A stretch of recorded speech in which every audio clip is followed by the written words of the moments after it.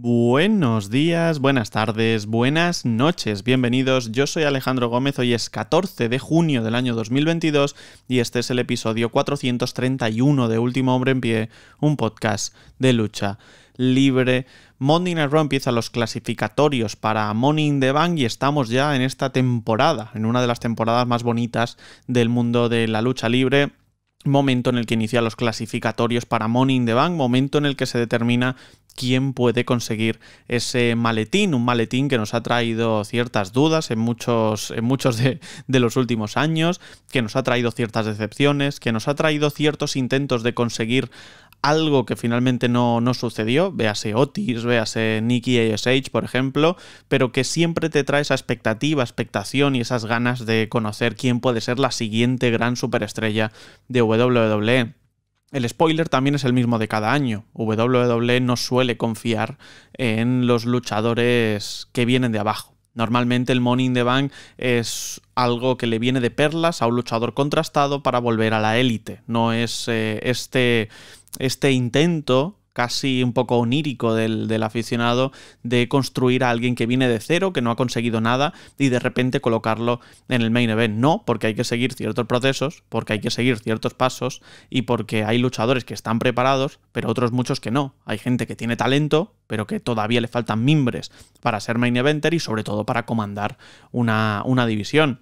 Y ahora eh, es verdad que, lo que tenemos es un páramo interesante a todos los niveles, yo creo, ¿no? Tanto el masculino como diría yo que especialmente el femenino, porque en el masculino tenemos confirmada la presencia ya de Seth Rollins que consigue la victoria ante AJ Styles con un paquetito pero en un combatazo. La verdad es que fue el mejor combate sin ningún lugar a dudas de la noche otra vez más de Seth Rollins diciendo, hey, aquí estoy yo, puedo perder tres veces contra Rollins, puedo estar perdiendo tres meses seguidos, que me da absolutamente igual.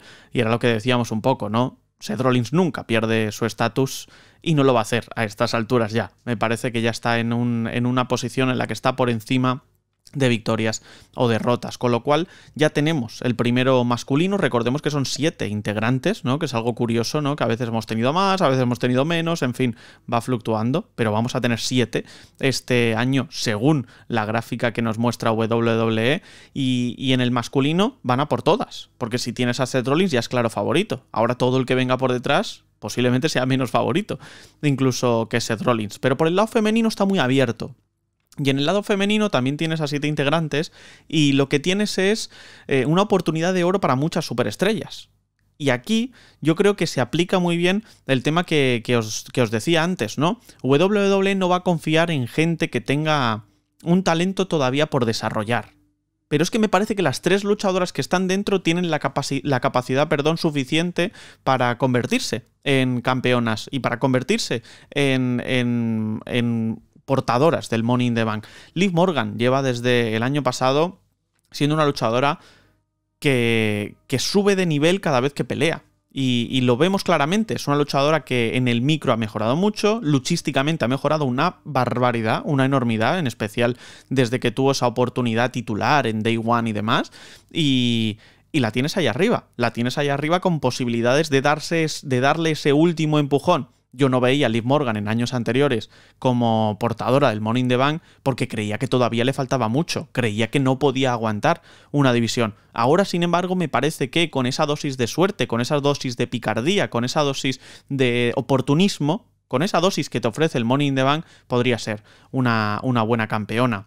Tenemos el caso de Alexa Bliss, múltiples veces campeona, quizá no estaba en el momento de estatus, sobre todo, y también, evidentemente, de rutina, de capacidades, para volver por sí sola a la élite luchística. Quizá este también es un buen momento para que así sea. Quizá este es un buen momento para, ahora que se ha clasificado, tener esa oportunidad y decir, me voy otra vez a enganchar a, a lo alto, me voy otra vez a enganchar a la élite, porque es que hay varias luchadoras que me han pasado por delante pasando por Ronda Rousey, una luchadora que ahora es campeona de, SmackDown y que llegó hace tres años, eh, mientras Alexa Bliss pues estaba a, a, otras cosas, y luego me han pasado por delante Rhea Ripley, me ha pasado por delante Bianca Belair, me ha pasado por delante, incluso os diría que Lacey Evans, me ha pasado por delante Liv Morgan, me han pasado por delante varias superestrellas y tengo que recuperar un poquito el ritmo.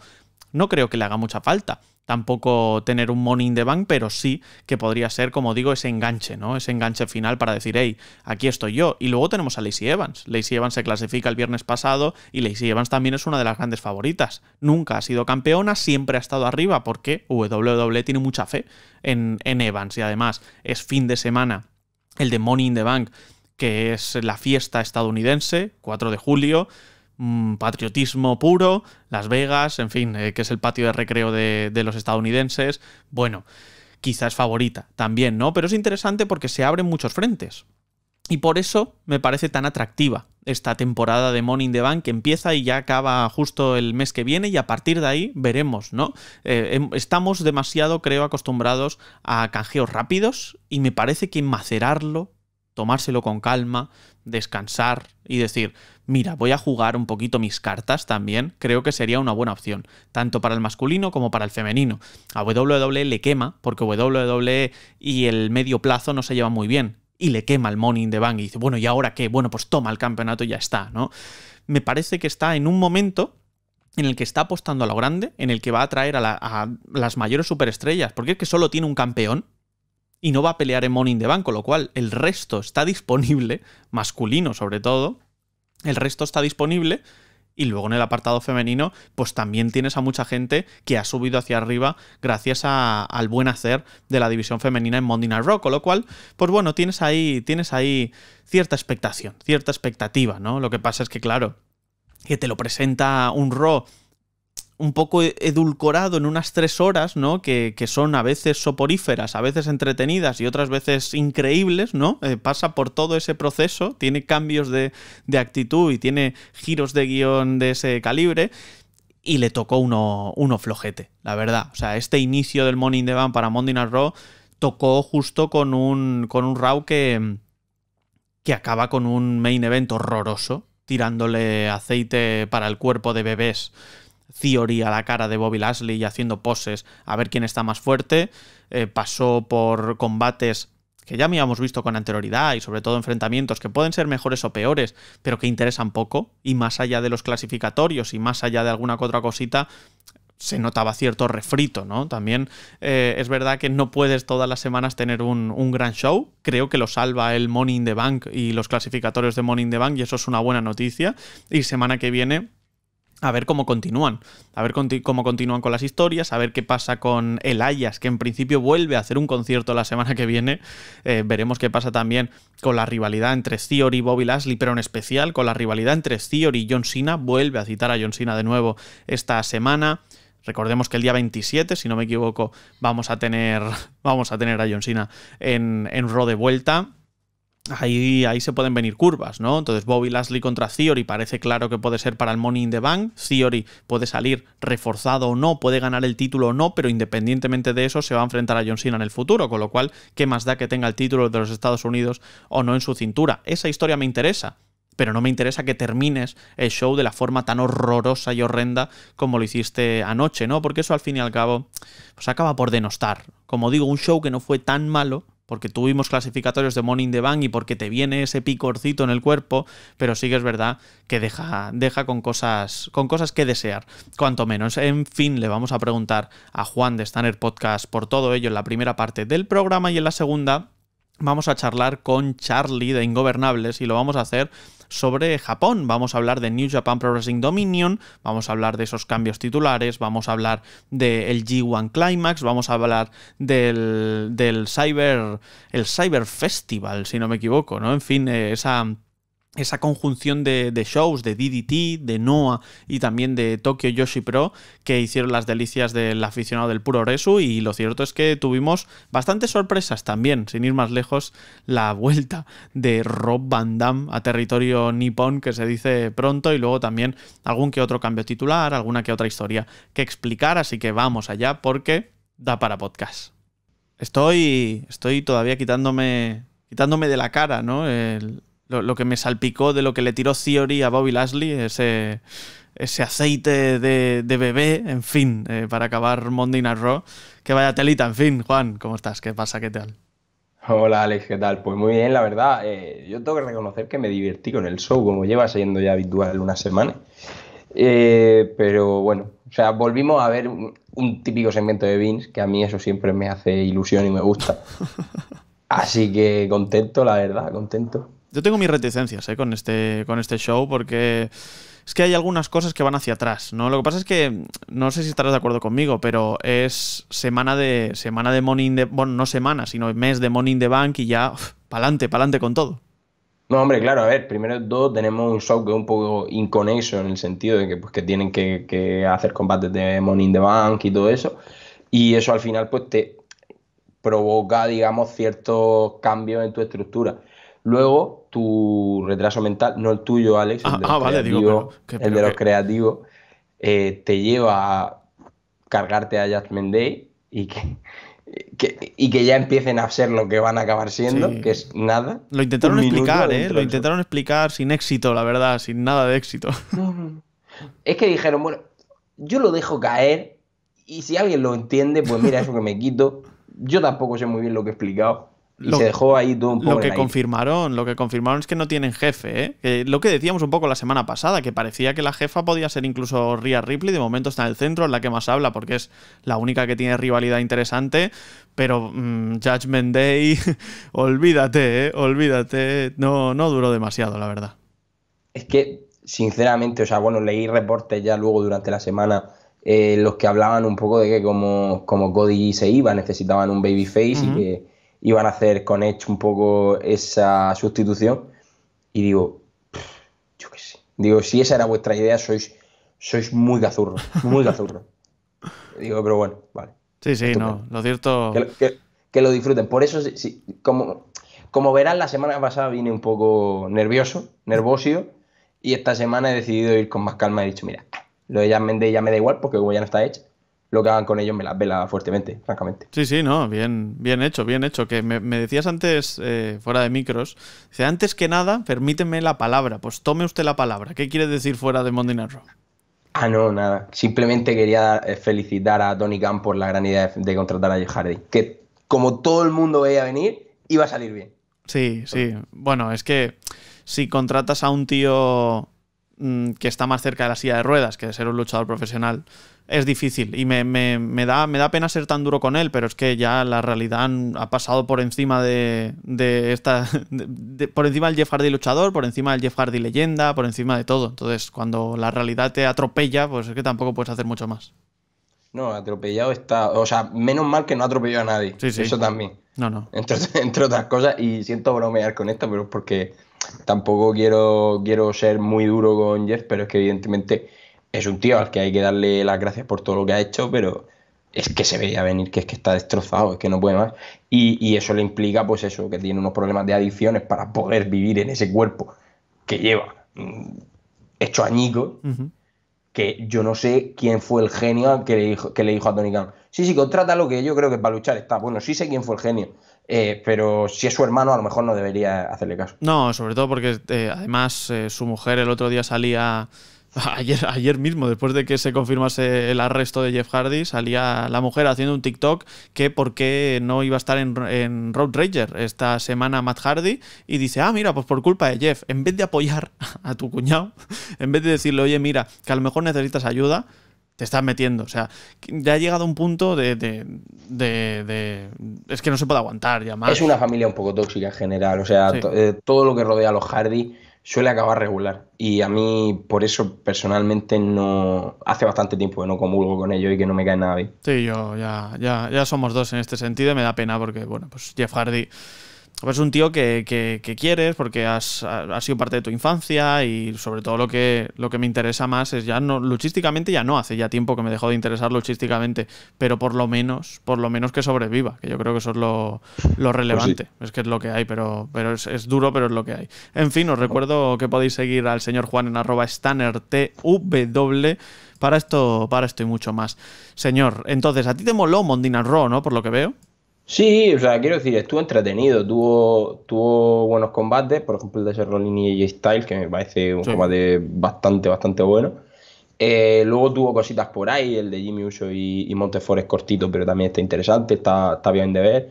Y me mola mucho también el, el segmento inicial de- del programa, sobre todo un poco por, por primero que haga acto de presencia por Heyman, que, Sí. que también se estaba tomando bien las vacaciones y, todo eso.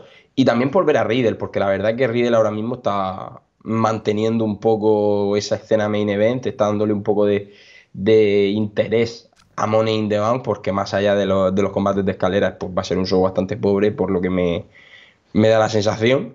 Y ese Riddle, y a ver si pues Riddle y Roman Reigns tienen ahí otro combate, porque yo intuyo que el del viernes se va a quedar ahí. se va a pues quedar en una. Yo creo que no, ¿eh? sinceramente. Es que tampoco hay mucha más vuelta de hoja. Riddle va a pelear esta semana contra Roman Reigns, pero mm. si pierde ya no va a poder retar nunca más a Roman Reigns y, y que acabe en descalificación no tendría sentido. Quiero decir, eh, es WWE, entonces para ellos sí, sí, lo tiene, pero para el resto del mundo no. Entonces a mí me sorprendería mucho que acabase sin, sin que gane uno de los dos, especialmente sin que ganase Roman Reigns. Eso sí que me sorprendería mucho. No, hombre, a ver, yo he pensado que en el combate, por lo que sea, no se llegue a celebrar y se aplace a Money in the Bank. Es que no me parece, no tiene, no, no veo ningún tipo de sentido ni lógica en que en SmackDown se defienda el título y en el pay-per-view que se supone que la gente lo paga para Sí, sí. los pago para ver combates interesantes, no. O sea, y, más por segunda vez consecutiva. No sé. Me resulta, me resulta extraño y por eso mm, quiero creer que eso es lo que va a pasar. Pero igualmente, bueno, Riddle tiene una performance de la hostia. Eh, luego es verdad que, el combate con Champa, pues, pues bueno, eh, tampoco está mal, pero no es nada del otro mundo. Pero, son cuatro minutos explosivos totales, ¿eh? O sea, eh, Champa luce bastante bien para el poco tiempo que le dan no termina de. Es como que a mí también me, pasa un poco que, la cabeza me hace clic con Champa. Y lo veo que lo tienen ahí tan. Que es como que estoy más viendo el combate, pero estoy más tiempo pensando en qué hacen con este señor que en el combate en sí. Y por eso a lo mejor no me ha hecho clic de, de la manera que a lo mejor el Jimmy Montes, que es igual, que se da, no será mucho tiempo más. Eh, pero sí me ha gustado, pero porque, claro, es como que asocio que están en su sitio, ¿sabes? Entre comillas. Por cierto, eh, eh, este, esta última ristra de combates a mí, a mí no me gustó personalmente demasiado porque son combates muy cortos y ciertamente intrascendentes, ¿no? Que es Tomás Champa Riddle, que a pesar de que yo creo que es un buen combate, es corto y tampoco muy relevante. Tienes un Chad Gable contra Mustafa Ali, luego tienes un Rey Misterio contra Bir Mahan. Y luego terminas el show con, con Austin Theory tirándole eh, pues, aceite de bebé a, Bobby Lashley y enseñando músculos. Es que, claro, es una, es una última hora. es, una café para muy cafetero. Yo, yo hasta ahí estoy de acuerdo. Pero te voy a decir una cosa. Que esto es una cosa que desde que lo he visto quería hablar contigo de esto. Rey Misterio. O sea, WWE trata a las leyendas como de puta madre en general. O sea, normalmente. ¿Qué pasa con Rey Misterio? ¿Por qué tiene que perder con Bill Mahan? Es que no lo entiendo. Porque Rey Misterio. ¿Por qué tienen que tratarlo así? porque no es actor, no es actor ni part-timer. Ya está. No sé que no tiene sentido. O sea, eh, si, si mañana Rey Misterio se va un año y vuelve con un contrato de cinco apariciones al año, va a ganar cinco veces. Sí, sí, sí. Sí, sí, sí. Así. Vale, vale, era por saber. Quiero decir, no, no que gane o que pierda, eso. Pero me refiero que sí al tema del estatus, eso sí. O sea, ganar y perder no lo sé. Pero vamos, a ser relevante sí. ¿Qué pasa? ¿Que eres full timer? Pues bueno, pues te apañas, ¿no? Entonces. Es que, me, parece, me parece absurdo que un tío como, como Rey Misterio, o sea, lo tengan. O sea, y además que tiene a Dominic, que lo mate de Mahan pero que lo mate luego a luego de verdad, que nos hace un favor. Pero, pero por Dios. Sí, sí, sí. ¿Qué haces? Por cierto, mis 10 a Bill Mahan, que le mandó un, un, mensajito a un niño que había invitado a su madre a los 24 niños que iban al cole con él y no fue nadie. Y Bill Mahal le mandó un mensajito por Twitter para, Bien, grande. alegrarle. Grande Vir, grande, grande Vir. Horrible, horrible personaje, excelente persona. Que no sé si, que no sé si alguien lo sabe, pero bueno, Bir Mahan eh, fue beisbolista profesional con los Marlins, me parece, que fue drafteado por los Marlins. O sea, si veis la foto, no parece la misma persona. Es como el quíntuple de bajo, de más bajo, y el quíntuple de delgado. O sea, sí, es increíble. Buscar la foto del antes y el después. No, no creo que nadie vea el béisbol aparte de ti.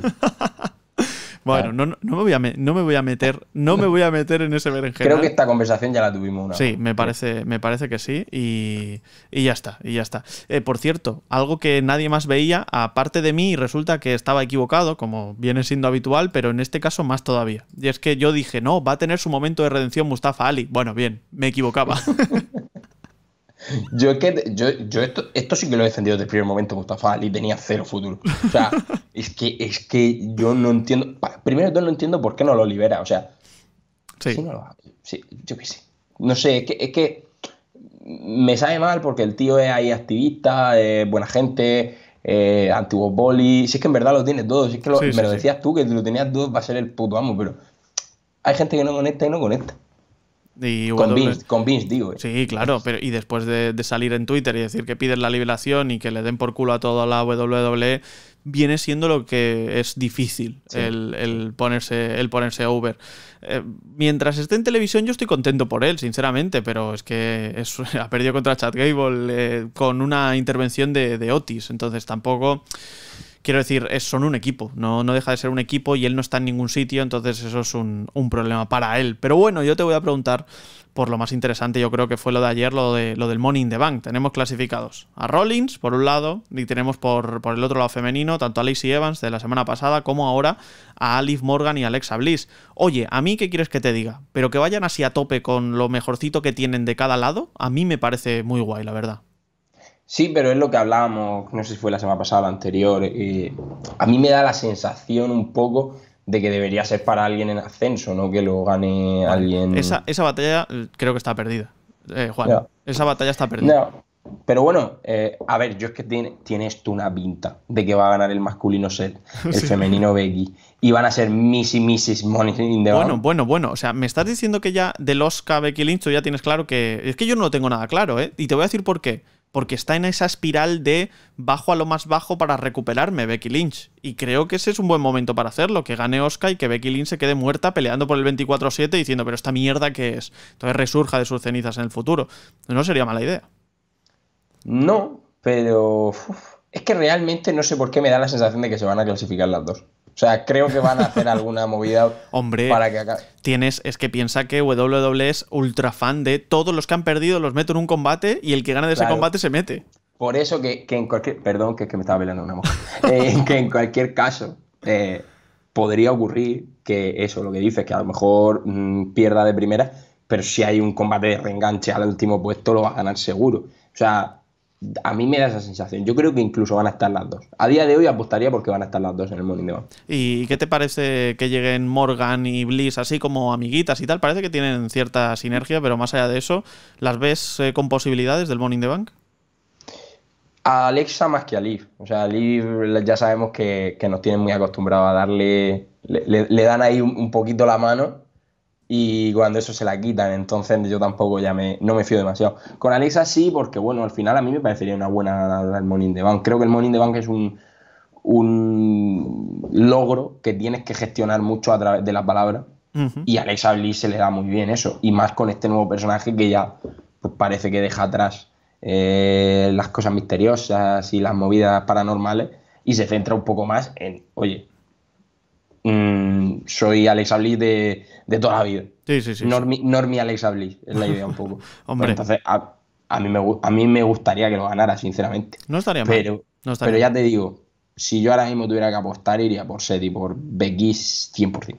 100%. Yo, yo, Seth lo tengo más claro. Becky, mm, Becky no sé siquiera si va a estar en, ahí peleando. Pero bueno, eh, ya, ya veremos. Y la última que te pregunto: eh, Ezequiel se va a reunir con su hermano la semana que viene. Esto es notición, ¿no? Eh, sacamos el confeti. Bueno, bueno, bueno. El CGI está calentando. va a ser espectacular. yo, mira, yo antes que CGI me espero a Max Dupri con barba. O algo así, no sé. O que salga Kevin Owens con barba, no sé, algo, algo así. Pero pero ojalá, ojalá hagan algo para que. Yo creo que va a ser lo típico que va. Es que no lo sé ni cómo lo van a haber preparado, pero es que me, tiene, me tiene ansioso. Me tiene ansioso.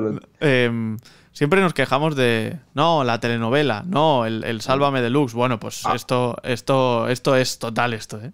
Yo jamás voy a decir que el entretenimiento deportivo. O sea, me, encanta la parte de entretenimiento, me, me flipa. No, pero, cuando, cuando, lo hacen bien y, y esto está gracioso. O sea, yo ahora estoy deseando saber ¿Cómo coño van a solventar eso? Esto es, esto es, increíble, solo falta que Ezequiel nos llame, nos llame mijo y concha tu madre y cosas así para, para definir la telenovela, vamos, total del mundo de, la lucha libre. Enganchado que me tiene esta historia, sí. Eh, el, conche sumare que, que, se afeita la barba y dice que, tiene un hermano. ese es, justo, justo ese. En fin, Juan, pasa, pasa muy buena semana. Igualmente, chao. Toma, toma dos de un fin de semana tremendamente excitante para el fan japonés, ¿eh? Charlie, ¿qué pasa? ¿Qué tal? ¿Cómo estás? Hola, ¿qué tal? Un placer estar por aquí de vuelta. Esta vez ya me podéis ver la cara, lo siento mucho. Pero bueno, tenemos temas de los que hablar muy interesantes. Eh, Cyberfight con ese festival de varias empresas y New Japan con el Dominion, con varios anuncios y varios combates interesantes. Así que pinta la cosa interesante, ganas de comentarlo. Sí, sí, se, vienen curvas porque pasaron, pasaron miles de cosas, pero yo antes, como siempre, os recomiendo seguir al bueno de Charlie en charlie.jpw y en especial en ese podcast, Ingobernables Podcast, donde os hablarán de toda la actualidad del mundo japonés y más. Así que ya estáis tardando en escuchar sus podcasts. Eh, Charlie, en New Japan Pro Wrestling se ponía las pilas, llegaba este Cyber Fight Festival con DDT, con Noah, con Tokyo Yoshi Pro en fin, se venía, se venía una fiesta de wrestling japonés y la verdad es que tuvimos entre combates, cambios de guion, eh, cosas raras, que, vimos gente que dices, ¿qué hace aquí? ¿no? Rob Van Damme, sin ir más lejos, y hasta, hasta el anuncio del G1 Climax, ¿no? Con un nuevo formato, con luchadores y una, un regusto cierto de decepción a lo mejor, ¿no? De, de falta a lo mejor de impulse en un formato un poco extraño. Sí, ahora que ya la relación con AEW ya marchaba a tope, pues se echa de menos un Brian Danielson, un yo que es mm. una vuelta de Page, Punk ya no, claramente está lesionado. Y entonces, bueno, queda un poco de ver ese Archer, que no está nada mal. La última, el último G1 que estuvo, estuvo genial. Eh, a mí me encantó, fue cuando para mí se destapó como luchador, pero claro, es lo mismo que teníamos hace tres años, no es novedad. Sí que hay otros nombres bastante interesantes, no son grandísimas novedades, pero bueno, Yona es una novedad bienvenida, Filciton Lawlor también, pero eso sí, el cambio de formato, ahora son 28 luchadores en cuatro bloques de 7, a ver cómo queda todo encuadrado, pero pinta un poco demasiado, con un poco demasiado de relleno. Eh, mucha gente del Bullet Club, eh, Fale, Chase Owens, Finlay, Genari y tal, quizás luchadores que todavía no han demostrado un nivel de merecerse entrar en el torneo. Pero bueno, espero que, que nos callen un poco la boca, que se luzcan de verdad y bueno, con seis combates cada luchador que va a tener con este nuevo formato, debería, debería de darles el cuerpo, ¿no? A, dar el máximo en cada combate y que salga un torneo bastante curioso, a ver qué pueden sacar. A, pesar de tener más luchadores, hay menos combates, ¿no? Si no me equivoco. Eh, sí, claro, con el cambio de formato, antes dos bloques de, de 10 luchaban nueve combates, ahora con siete por bloque solo seis. Eh, bueno, mm, sin más, yo creo que simplemente fue como lo cuadraron para meter más gente, porque este año es el, el 50 aniversario de la empresa y querían hacer algo un poco especial, por eso se lo paso un poco por alto el cambio de formato, aunque no me guste. Y a ver, faltan nombres, pero quizás este formato es incluso mejor, y porque los, los luchadores llegan más descansados o yo qué sé, cualquier lado positivo puede sacársele por ahí, pero a ver cómo sale. Sí, tendremos semis, tendremos luego final, ¿tienes algún favorito ya así a bote pronto? Eh, luego comentamos los resultados, pero eh, del Dominion, pero no, tengo a priori, eh, me llego completamente, eh, no sé, con las expectativas no muy altas, pero al mismo tiempo tampoco sé qué combate es la storyline fija que pueden contar de aquí a seis meses. la gente comenta tan y un poco pues darle un premio celebratorio por el 50 aniversario de la empresa y por su trabajo, y bueno, o sea que está jodidillo, mantiene un buen nivel y tal pero es que no tengo ni idea. O sea, igual una redención. Naito quizás se le queda un poco, un poco repetitivo porque ya hizo la misma historia de ganar el G1 como varias veces. Y Busi fuerísima. Eh, no sé, no, no sé exactamente. Es que no tengo ni idea. No, no sé quién. Igual dan alguna sorpresa. Un Sanada, por ejemplo, que le están puchando poco a poco estoy entre miedo y no saber qué van a hacer, la verdad. habrá, habrá que ver que todavía, todavía queda, todavía queda. Lo que sí que tenemos ya bajo, bajo la manga es este Dominion de New Japan Pro Wrestling que nos ofreció un cambio titular, no, dos, bueno, dos cambios titulares enormes, ¿no? Incluso un tercero, ¿no? Que es el de Carl Anderson ganando el Never Open Weight. Eh, tuvimos también eh, cambio titular en los títulos por parejas, pero sobre todo tuvimos a Will Ospreay ganando el título de los Estados Unidos y a Jay White ganando el título peso pesado, ¿no? La verdad, em, lo, de, lo de Will pues bueno, eh, teniendo en cuenta que no estaba Joe Robinson por el tema del apendicitis y demás, que no, para, no tener, no tenía ni el título de los Estados Unidos, eh, pues, pues bueno, te lo, te lo compro, ¿no? Lo de Jay White, eh, ¿cómo lo ves? Porque sobre todo ya es un tema más de historia, ¿no? Líder del Ballet Club, ahora en ascenso, Kazuchika Okada que veremos contra quién se enfrenta en Forbidden Door, veremos si Jay White tiene una implementación fuerte, que yo creo que sí, en fin, eh, bueno, cambia un poco la película ahora. A ver, de primeras me gusta. A mí Jay White sí que es cierto que fui un poco reticente cuando vino, cuando debutó el nuevo gimmick de Switchblade en, en, New Japan y tal. Le ponían en zonas muy importantes pero no llegaba a cumplir. Y sí que en el periodo desde el G1 previo hasta la 2000, el de 2019, hasta que se fue en 2020 por, por la pandemia, sí que había alcanzado un nivel de los mejores que estaban en New Japan. Y vamos, se le echaba de menos en estos dos años de pandemia muchísimo, muchísimo, sobre todo porque teníamos a Evil de sustituto, entonces aún más. Y de primeras me gusta, de primeras me gusta porque es, no, es, bueno, es novedad, quizás una, una estrella un poquillo estancada, aunque Okada estaba dando bastante buen nivel, se estaba recuperando bastante bien. Y en principio me gusta. Eso sí, quizás el combate me quedó un poquillo a deber. Yo todavía tenía el regusto en los labios del, combate, el último combate que vimos de Joe White en New Japan, que fue contra Kota Ibushi, ese pedazo de combate que sacaron en Wrestle Kingdom, y que nos llevaba con unas expectativas de, oh, no lo hemos visto a este nivel en dos años y tal, tengo ganas de verle y eso, y me esperaba un pelín más. Hubo alguna mierdecilla de esta de interferencias del Bullet Club, que ya son, vamos, de marca, que marca de la casa, y me restaron un poquillo, pero sí que es verdad que el combate moló, que ambos rindieron a un buen nivel, que como siempre las locuras de secuencias finales y counters y, movidas distintas eh, siempre, siempre cumplen y funcionan bien, y así fue, y pese a que no tendría ningún problema con que Okada hubiese seguido con su reinado, que lo está haciendo muy bien, eh, pues me alegro, porque White es un poco cambio aquí de paradigma, un poco nueva era, o debería de ser así, y a ver dónde tira, como decía, no tengo ni idea dónde pueden ir de el Kingdom, pero de primeras me convence. Y lo de Forbidden Door, no lo sé. Hombre, espero que no hagan una four-way. Creo que sería un poco demasiado. ni, un tag, ni un tag, porque sería ir así, o de pecho a cada un tag, no. No. Eh, algo con Cole y así no haces la three-way. No tengo demasiado claro. No creo que lo defienda porque el personaje de, White es mucho, a veces, ser un poco eso, el Gil cobarde, más o menos. Y entonces no creo que lo quiera defender por su propio eh, eh, por su propia motivación. Pero vamos, a mí que me den un pecho acá de luego White puede hacer seguir un tag con Cole o, lo que quiera. eso es, eso es. Sí, a mí, a mí me convence. Yo creo que, que Jay White es, es, un buen tío para estar ahí arriba. Kazuchika Okada, pues bueno, al fin y al cabo es, es, uno de los grandes nombres de New Japan y es lo que hay, ¿no? Pero sí que es verdad que, que lo de Jay White pues te inspira cierta por lo menos cierta expectación de cara al futuro, ¿no? Sobre todo con el, con el Ballet Club ahí, con los nuevos miembros, con, en fin, eh, teniendo repercusión, ¿no? A pesar de que eso, pues pierdes los títulos por parejas, que se me quedó la foto un poco meh, ¿no? Después eh, pierde los títulos por parejas y luego aparece Carl Anderson con el título Never, en fin, se me quedó, se me quedó un poco, un poco así extraño, además con Ace Austin ya con el título de, de la X Division, que estaba por ahí del Best of the Super Juniors y, y demás, ya veremos, ya, ya veremos qué pasa, pero por ejemplo también tuvimos a Tanahashi contra, contra Goto para determinar quién sería el rival de John Moxley por el título de All Wrestling, el interino, en, en, este caso en Forbidden Door. Bueno, fue lo que tuvo que ser, ¿no? Tampoco fue un gran combate, pero Tanahashi que se lleva la victoria. Sí, fue lo que tuvo que ser. El Mox contra Tanahashi era rarísimo que no lo fuesen a dar en Forbidden Door de primeras.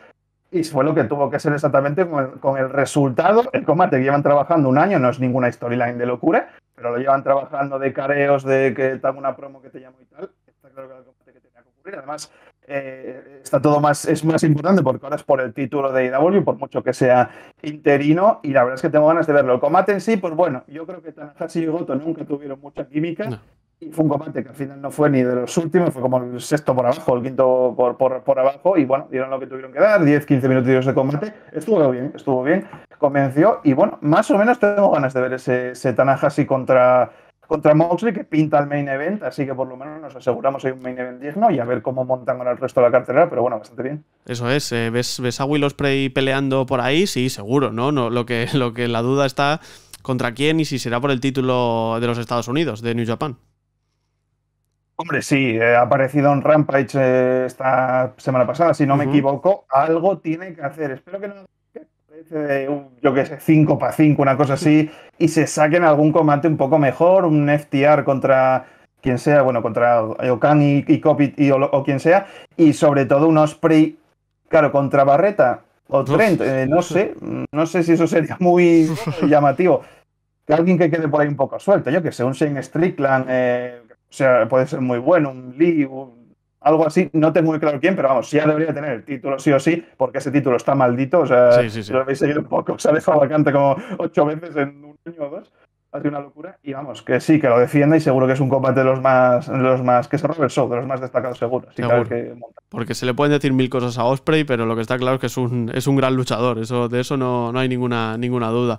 Em, en fin, Dominion que yo creo que cumplió. Tampoco tenía. Tampoco era un show de altas expectativas, pero creo que en general acabó cumpliendo. Sobre todo si tenéis que ver algún combate. Yo recomiendo más el Will Ospreay contra Sanada, más incluso que el Main Event. A mí por lo menos me gustó algo más, sobre todo porque es que el Main Event se va a 36 minutazos y a veces se te hace un poco, un poco lento, sinceramente. Quizás si lo veis al uno y medio, pues, pues está, está algo mejor. Pero yo te quiero preguntar por este Cyber Fight Festival del año 2022, ¿no? Esta conglomeración de combates que, que hubo para dar y para regalar. No sé qué nos puedes recomendar de esta, de esta locura con Noah, DDT y Tokyo Yoshi Pro.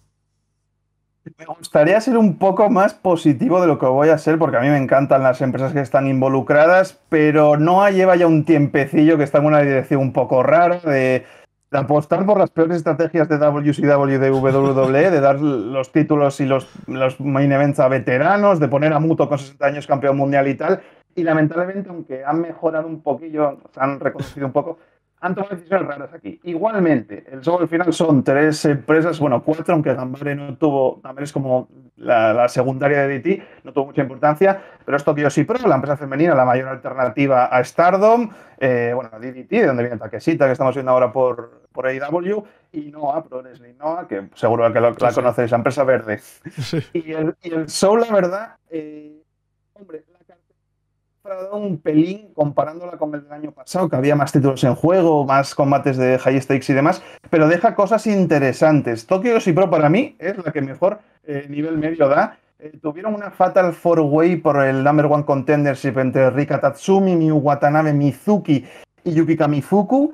Eh, que me gustó bastante, un combate cortito pero movido, al final es una four way entre cuatro buenas luchadoras que funcionó eh, bastante, bastante bien. Tuvimos de DDT, eh, que lamentablemente sería su mejor combate, por, bueno, luego lo comento, eh, entre Chris Brooks, Takanashi, Harashima, Naomi Yoshimura venciendo a, Sauna Kamina y a, Asuka, combate cortito también de 15 minutos, 4 para 4, que fue pues, más, más, o menos un high spot fest bastante divertido. Luego tuvimos, como comentábamos, la aparición super ultra macro random de Rob Van como Hayata derrotando a Harada, Kaito y Yohei, es decir, que yo una, nada, nada por Roman y se esforzó bastante, hizo sus spots habituales, pero bueno, no se le ve en tan mala forma, o sea, eh, no lo hizo mal del todo, no digo que lo recomiendo a muerte, pero si quieres ver Roman en sí, un escenario tan como este, merece la, merece la pena. Y yendo ya a los combates más, eh, más destacados, eh, pues los tres últimos, la verdad, cumplen bastante, aunque es un poco, bueno, tiene sus historias diferentes. Eh, que no derrotando a Sasaki, que era el único combate, por así decirlo, interpromocional real, porque en el combate que teníamos 3 contra 3 entre Nakajima, Endo, Akiyama y compañía, lamentablemente Nakajima dejó cabo al campeón de DT Sendo de, un, de una bofetada y la verdad eh, no hace que quede muy bien DDT si su, si su campeón cae así. Medio accidente, medio shoot, no se sabe del todo. Está claro que Work no es, o sea, no lo hicieron aposta, simplemente fue un accidente que salió y ya está. Entonces, el único combate más o menos real de competencia entre empresas era ese Keno contra Sasaki hardcore con spots de chinchetas, eh, un double foot stomp desde la, desde la escalera eh, hacia, hacia, Sasaki, el rival en, el ring y demás. Y la verdad es que un combate bastante divertido. El Shoko Nakajima contra Yuka Sakazaki por el título máximo Tokyo Pro también bastante interesante y divertido.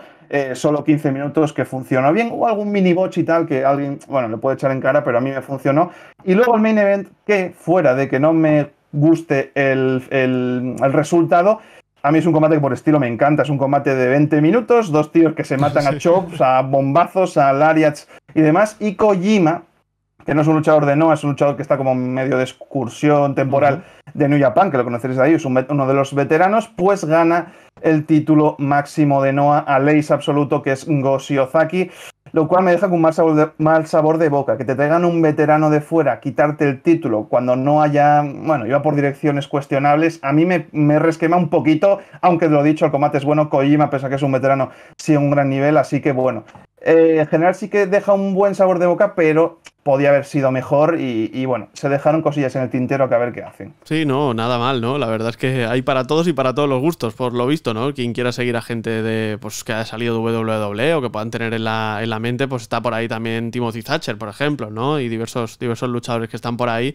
Así que bueno, hay, hay de todo, hay de todo en este, en este show, también recomendado. Así que nada, Charlie, un placer tenerte por aquí, cargadito, cargadito lo que viene de Japón últimamente placer haber estado por aquí. Muchas gracias por invitarme. Y vamos, estoy disponible cuando quieras para promover un poco la palabra. Ole Elite Wrestling está viviendo unas horas y unas semanas que, de verdad son, son para echarse a dormir y no salir de casa. ¿eh? Primero, lo primero y lo primordial. Jeff Hardy, detenido por eh, conducir borracho, detenido por ir eh, bajo las sustancias del alcohol y vete tú a saber si de las drogas también. Tercera vez en menos de 10 años, un tipo que no se sostiene en pie y un una persona que necesita ayuda. Un luchador que necesita ayuda. Y necesita ayuda urgente, porque ahora mismo ya no se trata de volver al cuadrilátero, ahora mismo se trata de sobrevivir y sobre todo de eh, que, no mata a nadie. Estaría bien que, que eso sucediese, porque lo cierto es que está en un, en un límite de, rebosar el vasito de agua y que se te caiga la gota que colme el vaso y a partir de ahí tengamos una, una desgracia. Jeff Hardy detenido de nuevo, evidentemente no va a estar el miércoles en, en ese combate Road Rager de escaleras, no, no, puede estar de ninguna de las formas, esto, esto es así, además está detenido, no sabemos qué va a pasar, pero vamos, eh, cuadriplicaba la tasa de alcoholemia y lo cierto es que es que no puede ser. No, no puede ser. Jeff Hardy ahora mismo no solo no puede estar peleando, sino que ahora mismo lo que tiene que estar es centrado completamente total y completamente en salvar su vida. Yo creo que eso, es, lo primordial. Pero es que luego en All Elite Wrestling también han pasado miles de movidas. Se ha criticado duramente a Sander Rosa por el concepto que se llama sandbagging, es decir, eh, no vender los golpes de tus rivales. Ya la vimos contra Marina Shafir, que a la que, vamos, eh, jodió en muchas partes del enfrentamiento, en muchas otras pues pasó inadvertido, pero vemos como Marina Shafir tuvo que hacer varios esfuerzos para que ese combate saliese adelante, porque no le daba la gana a, a Rosa de vender los golpes, y luego tenemos el tema también de Andrade, que se ha montado un pifostio con Andrade importantísimo porque resulta que no puede pelear eh, en, en, ese show de Forbidden Door por todo el tema de AAA y de CMLL, que parece que, claro, tienen esa especie de exclusividad y pues eh, tienen cierto partnership y, por tanto los luchadores de AAA no pueden aparecer en New Japan, en fin. Tampoco pueden aparecer los luchadores por ende. Andrade se mete en una, en una batalla dialéctica con Conan. Eh, lo hace en inglés, con lo cual, pues bueno, ya sabéis todos cómo, cómo funciona el inglés y cómo funciona el, el bueno de, de, Andrade. Un follón de, de la leche también que nos deja un spoiler, evidentemente, de lo que va a pasar el, el No Elite Wrestling Dynamite y es que no va a ganar eh, Penta Oscuro contra Malakai Black porque no puede pelear, básicamente, ¿no? En esas estamos, en esas estamos. Pero bueno, en fin, yo recuerdo que a pesar de todo esto, que a pesar de todo lo que ocurre en All Elite Wrestling, que es algo más negativo dentro del mundo de la lucha libre y sobre todo por cosas fuera del cuadrilátero, como casi siempre, nosotros nos centramos este mismo sábado en lo que pasa en el cuadrilátero, o mejor dicho, en lo que ha pasado durante todo este año 2022. ¿Por qué? Porque vais a tener un nuevo episodio para mecenas en el que vamos a hablar de, y analizar, recordar los 10 mejores combates de lo que llevamos de año. Hacemos siempre este top 10 combates del 2022 a mitad de año justo y luego comparamos con nuestro top 10 final. Veremos qué nos sale de aquí, pero un montón de combates interesantísimos. Me ha costado bastante decidir. Pero ya sabéis que el sábado lo tenéis disponible por menos de lo que cuesta un café. 1,49 al mes en iBox, 1,99 al mes en Spotify. Si tenéis cualquier duda, comentadme en arroba sralesgómez, tanto en Twitter, Instagram como TikTok, y yo ahí os resuelvo todas, todas esas que tengáis. Además de todo esto, ¿qué vamos a ver esta noche? Perdonad. Pues bien, vamos a ver... Perdonad que me muero. Digo, vamos a ver NXT 2.0 Vamos a ver este show de la marca de desarrollo de WWE ya sin Troy Donovan, ya sin Chu Dimes, que fue despedido por violar la política de bienestar de la empresa. Eh, en fin, tenemos, tenemos varias cositas interesantes sobre la mesa, en especial ver qué pasa con Roxanne Pérez y Cora Jade, en especial también ver qué pasa con las tóxicas, en fin, ver varias cosas, sobre todo porque además es un show que ya está grabado, ya sabemos qué ha sucedido, por así decirlo, no solo este, sino también el de la semana que viene, vamos a tener eh, a Bron Breaker, vamos a tener el debut de Giovanni Vinci, vamos a tener a Carmelo Hayes, vamos a tener el main event con, con esas eh, luchadoras, Jade Harwell y Roxanne Pérez contra Toxic Attraction, a los Cryptos por ahí, Fallon Henley también, eh, Wesley... Cositas, cositas que vamos a tener en este show. Así que nada, mañana lo comentamos todo. Yo me despido, como siempre, recordándoos que me podéis seguir también en Twitch, en ese IRales Gómez, y que no tengo un Rolex, no tengo un jet, no tengo una limusina como el bueno de Ric Flair. Pasen un muy buen día. Ahora que habéis llegado aquí, sois el último hombre en pie y. ¡Woo! Ahora del puro Eresu.